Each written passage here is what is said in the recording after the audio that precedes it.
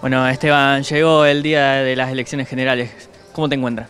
Bueno, muy bien, muy contentos con una campaña que fue de menos a más, que logró a partir de los debates poder hacer llegar la propuesta de nuestra lista a todas las provincias, pero en especial a las del interior, porque es una lista que reivindica la capacidad que tienen las provincias en la producción, en el trabajo para sacar adelante a Argentina. Así que con mucha expectativa, expectativa positiva, creemos que puede ser la sorpresa del domingo, así lo hemos percibido en los últimos días y así coinciden muchos analistas que va a ser, así que muy contentos, en un contexto complejo, donde también obviamente la gente está yendo, estamos yendo a votar con mucha incertidumbre que ha habido en los últimos días. Esperemos que el resultado de hoy nos dé una señal clara de que hay una salida, de que esa salida tiene que ver con la producción, con el trabajo, con que Argentina crezca y que efectivamente podamos salir finalmente de esta crisis que nos viene afectando hace tanto tiempo. Hablando de contexto complejo, hoy nos tocó un día muy lluvioso. ¿Crees que va a afectar eso a la, la afluencia de la población?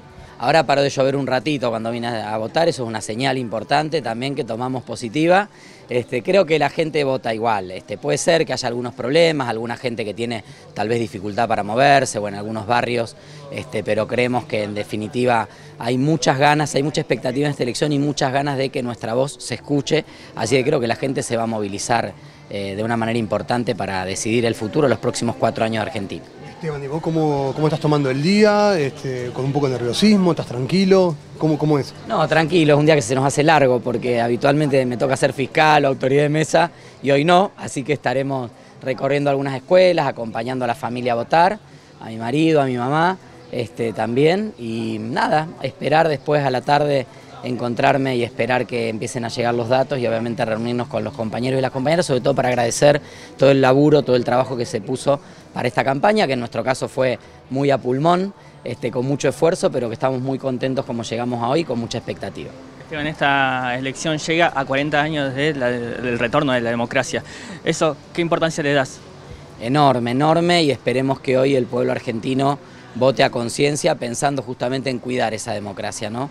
Hay algunas propuestas que, plantean incluso poner en cuestión algunos fundamentos básicos de, de, nuestra democracia. Hoy es un día donde tenemos que votar por más y mejor democracia, así que esperamos que la gente concurra masivamente y vote en ese sentido. Esteban, por último, bueno, hace poco te juntaste con los dirigentes de Libres del Sur acá en Santa Fe, ¿sumaste apoyos en el último tiempo? ¿A qué lo atribuís? Bueno, creo que hay muchos sectores que fueron a la primaria eh, con distintas opciones, con distintas alternativas y que luego han encontrado en nuestra propuesta una propuesta que sintetiza una historia de lucha, de valores compartidos, de espacios compartidos en esta provincia y que también han visto y ven como mucha gente que ante una avanzada de un sector muy importante que viene a restringir derechos, quieren que estén las voces de quienes vamos a ir a defender esos derechos en primera persona en el Congreso. Por eso entiendo que, muchos sectores últimamente, en los últimos días, se han expresado a favor de nuestra candidatura y eso vamos a hacer hoy a la tarde. Si los santafesinos y santafesinas deciden que vayamos a ocupar la banca que hasta diciembre va a ocupar eh, hoy Enrique Esteves, este, iremos con esa convicción, a defender cada derecho conquistado y a defender lo que Santa Fe merece y por eso estamos con mucha fuerza para esta tarde. Gracias. Enrique, te, pregunto a vos también, este, ¿cómo, ¿cómo, estás viviendo esta, esta jornada de, elecciones? Bueno, como decía Esteban, en principio siempre que se puede ir a votar está bueno porque es donde expresamos nuestra voz, eh, donde el pueblo habla y, y da su opinión.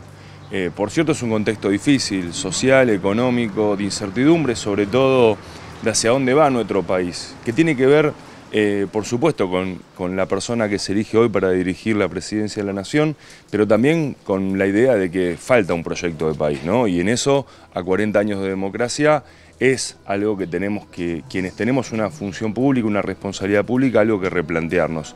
Pero lo vimos con expectativa, porque, como decía Esteban, la democracia se tiene que mejorar con más democracia, y esa democracia que tenemos que mejorar se mejora con las instituciones, con la transparencia, con la participación, con las rendiciones de cuenta, y bueno, tratamos de, de, empujar esa idea y esa mirada.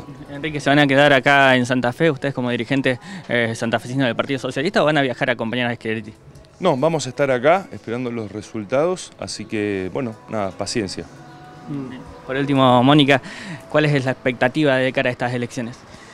Bueno, la verdad que más allá de lo del país que han dicho tanto Esteban como Enrique, yo estoy muy orgullosa de acompañarlo a Esteban. Lo conozco de los 15 años. Esteban es un luchador de toda la vida que mm, nunca tuvo un cargo electivo, pero pudo sin cargos eh, lograr derechos para nuestro país con una lucha inmensa que ha llevado siempre adelante con una gran convicción. Así que para mí es una gran alegría acompañarlo, decir que lo necesito en el Congreso porque necesitamos gente comprometida, con convicciones, en un momento difícil para el país, aportar de donde nos toque y obviamente con expectativas de nuestra lista nacional, porque creemos que es una lista seria, responsable, federal, como ha dicho Esteban, eh, que nos haría muy bien a todos los argentinos.